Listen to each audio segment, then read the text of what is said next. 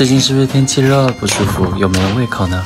把萝卜先挖空，银耳记得要提前泡发，再加入雪梨丝、冰糖、枸杞，放进锅里先蒸着，给你们来道不一样的意面。用培根的油把口菇炒香，然后再放入一块黄油。关键来了，注意看，广和腐乳，我还记得小时候经常吃，味道还是那样的浓郁醇香。两块腐乳过筛碾碎，再倒进锅里，意面煮的差不多了，盖上盖子，再焖四分钟。加入寡和腐乳的意面，熟悉的滋味中又融合了意想不到的惊喜。满满的腐乳酱，口感更加丝滑香浓开胃。快做给你爱的人吃吧！